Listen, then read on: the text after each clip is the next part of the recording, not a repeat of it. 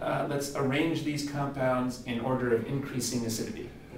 The problem here is to arrange these in order of increasing acidity.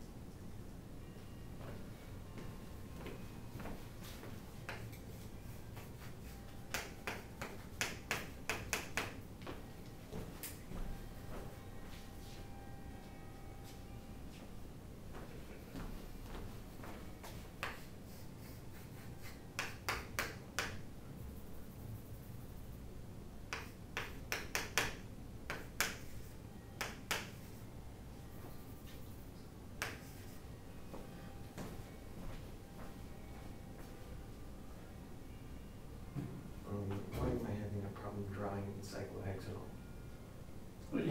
Uh, so far is right. So hex means six carbons. Correct. Oh, no bond, no double bonds. That's right. So this is not a benzene anymore. All right. Um, okay, let's see here.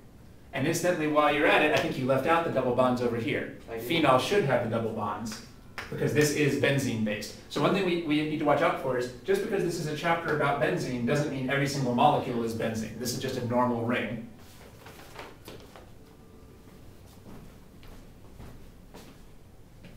An alcohol. So as you saw, the first step is to actually draw the structures. We don't want to just picture these in our heads, we should actually draw the structures.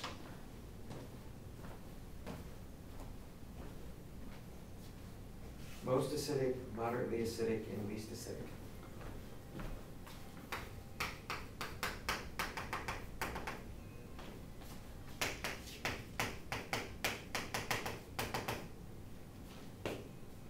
That sounds good. Why is, uh, why is this compound more acidic than this compound? Because it has the ability to spread, through resonance, it can spread that uh, negative charge throughout the ring. That's right. After, um, if it lost the proton, it could stabilize its negative charge by resonance. Very good. Um, and then why is this more acidic than this compound? Because of the uh, electron withdrawing chlorides at the O and P position. Is, uh, if it is deprotonated, the hydroxy, it is gonna be, the uh, negative charge is gonna be better stabilized throughout the ring because of the electron withdrawing effect of the Right. chlorides. These are electron withdrawers, so they also help to stabilize the charge. And since we're, um, in- we don't, it doesn't even so much matter in this case that they're at the O and P positions because we're not comparing it to anything else. If we were comparing this to something else where the chlorines were at the M position, then we could look at that as well. Okay, so you're right, that's a good application of what we just went through. So this is the most moderate, and then this is the least acidic. Again, alcohols, normal alcohols are not really very acidic. Phenols are more acidic than a normal alcohol, although still not as acidic, say, as a carboxylic acid maybe. All right, well, I think that's a good uh, coverage then of the acid-base properties then, and ranking things in order of acidity. Thank you.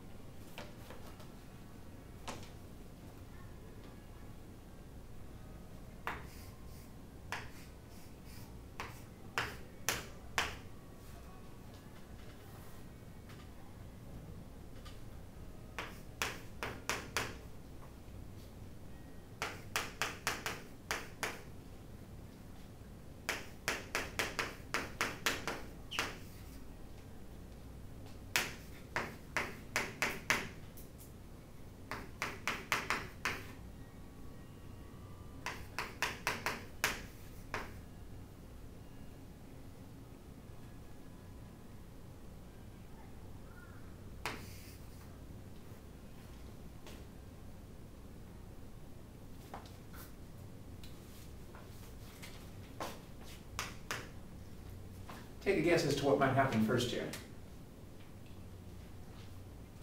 Uh, deprotonation of the hydroxy. Which hydroxyaromatid Uh, propionate? the, um, well, let's see here. That sounded good.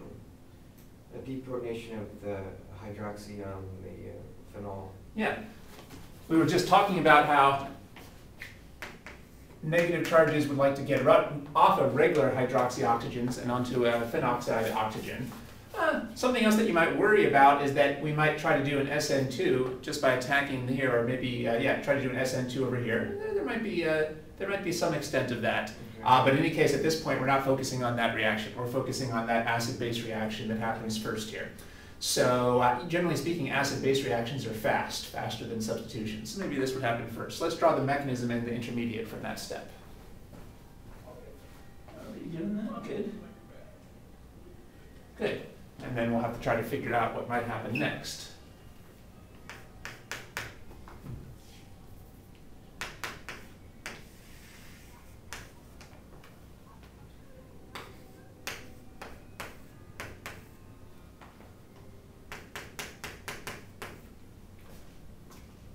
Now we've got this. Well, can we think of any reasonable reaction that might happen between this new intermediate and this substrate that we haven't done anything with yet?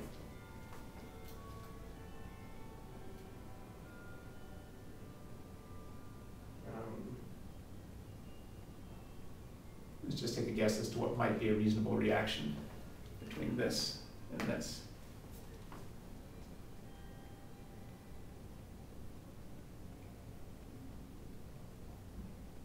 It could attack the uh, carbon next to the chlorine.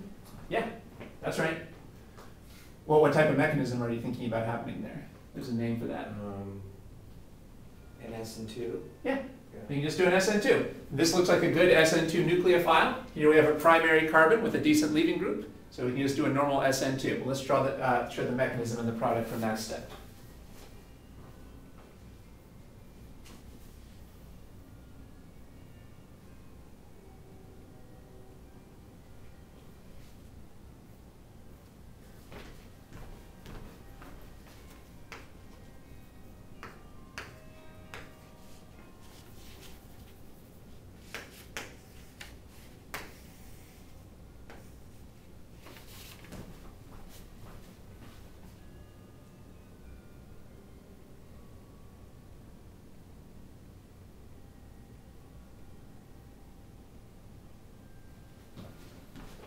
Good. I'm glad to see that you put in some numbers here. We know it's always helpful to put in some numbers to avoid adding or dropping carbons. One thing that might save you some time is just to use Ph for the benzene ring over here. That's just a matter of taste.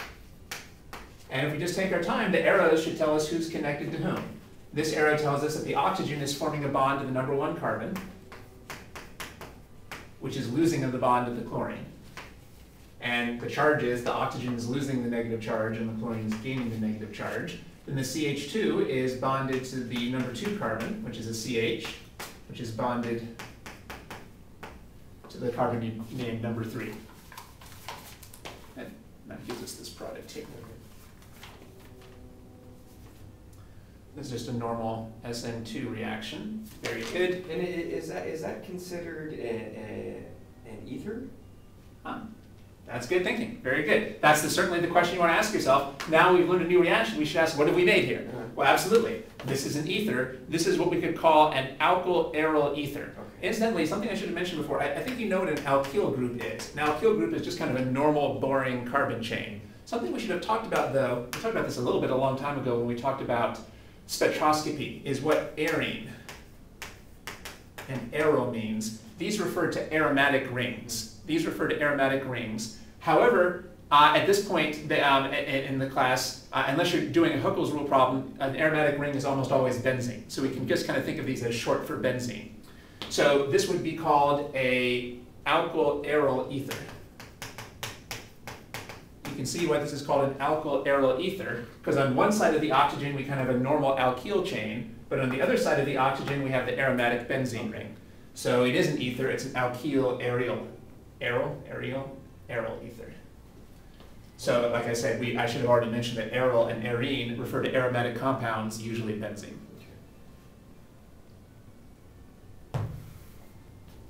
Well, that's right. So now we've learned a way to make basically an aryl ether, a benzene ether. This reaction should look pretty similar to us. Way back in earlier terms, we saw that one nice thing about an alcohol is alcohol oxygens are not very nucleophilic. But you can deprotonate them and then they become more nucleophilic. So we're doing something that we've already learned to do on other alcohols. We can deprotonate an alcohol oxygen so it becomes more nucleophilic and then we can do an SN2 reaction with that. And it's even easier here because it's easier to deprotonate a phenol alcohol than a normal alcohol. So it's easy to deprotonate this and make it into a better nucleophile and do an SN2.